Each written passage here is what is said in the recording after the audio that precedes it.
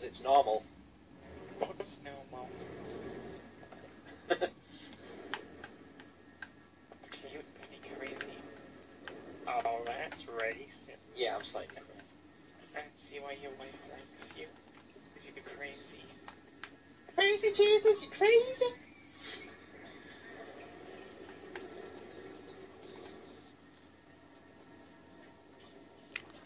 Jesus, what the fuck is that? Adrian! No, I'm looking at it. You're looking, you're looking to how many? You just go through a book and then you look to see what kids you want and then you just pull them out of the book. like the Argos catalogue. yeah.